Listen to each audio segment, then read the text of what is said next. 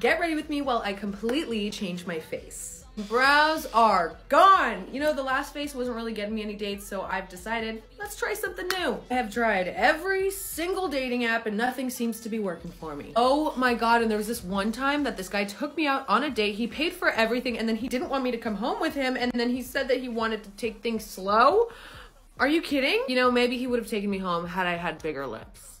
Anyways, I ghosted him because it's called boundaries, ladies. Never settle. And of course, we know blondes have more fun. And screw it, new eyes too. And this is the final look. Thank you guys for watching. Hopefully now I can find my happily ever after.